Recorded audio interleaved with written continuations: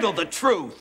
The professional wrestling world has walls, and those walls have to be guarded by men who will tell the truth. Who's going to do it? Dave Meltzer? I have a greater responsibility than you can possibly fathom. You weep for men like Kenny Omega and Vince McMahon and curse wrestling done right. You have that luxury. You have the luxury of not knowing what I know that while Omega's American failure, while tragic, probably saves wrestling. And my existence, while grotesque and incomprehensible to you, saves wrestling. You don't want the truth because deep down in places you don't talk about at indie mud shows, you want me on that wall. You need me on that wall. I use words like honor, believability, and selling. I use these words as a backbone of a life spent defending something. You use them as a punchline. I have neither the time nor the inclination to explain myself to a fan who rises and sleeps under the blanket of the very protection that I provide and then questions the manner in which I provide it. I'd rather you just said thank you and went on your way. Otherwise, I suggest you get on camera,